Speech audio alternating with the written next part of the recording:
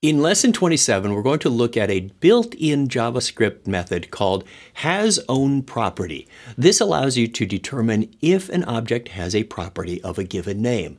Let's take a look at an example of that.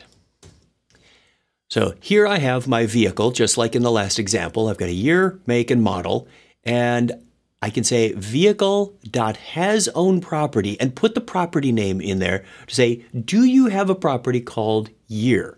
And it will return true. Do you have a property called price? And he'll say, no, I don't.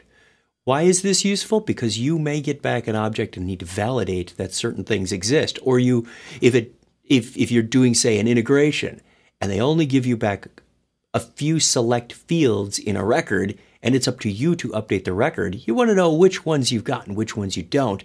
Maybe it's against a known list. If I've got 13 fields and the integration only sent me three, I better check which three those are so that I can update the correct fields, that sort of thing. So it's nice to know, just as a true false, do you have this? I'm going to run this just to show. It's a short little lesson all about that. And of course, I say, yes, I do have a make, but I don't have a price.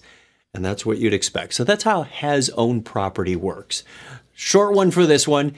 Join me for the next one in episode 28 when I can show you how to get each key or each property in that object. So stick with me. I'll see you in just a sec.